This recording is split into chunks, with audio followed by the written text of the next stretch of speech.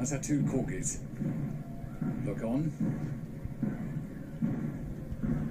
They gave her so much pleasure in the last months of her life.